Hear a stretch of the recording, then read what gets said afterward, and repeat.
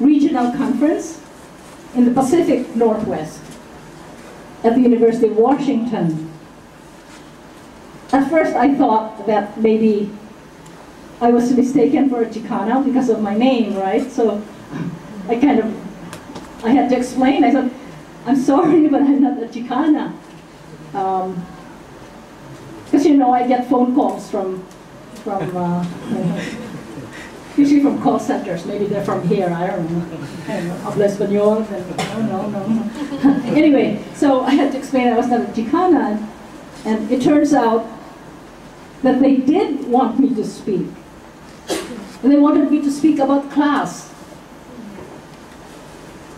So as, as I said, this was this time, about this time last year. And I think that's, it's a good thing.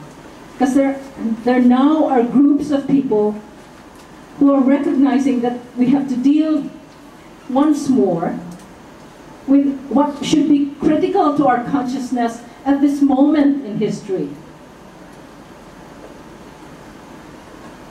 But I also mention this because since I was asked to talk about, you know, in the Chicano conference, I, I had to educate myself. I, of course, I've taught about Chicano women, you know, women of color and so on, but I did not know enough about Chicano studies as such, so I had to give myself a crash course in Chicano Studies 101. And in the course of my study, what I discovered was that the very same problems I saw in Philippine studies marked Chicano studies. I, I, I, I thought it was incredible. All I needed to do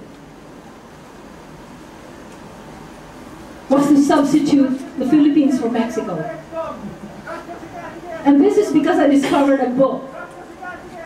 I discovered a book by Gonzalez and Fernandez titled, I think, A Century of Chicano History, in which they critiqued some of the key pieces of writing in Chicano studies.